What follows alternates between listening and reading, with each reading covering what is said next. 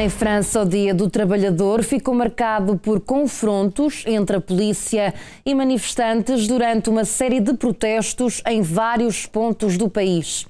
Segundo o Ministério do Interior, terão participado cerca de 782 mil pessoas.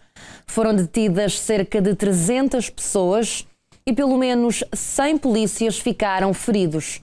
Foram ainda registados vários atos de vandalismo um edifício chegou mesmo a ser incendiado na cidade de Nantes. Este foi o 13º protesto contra a reforma das pensões.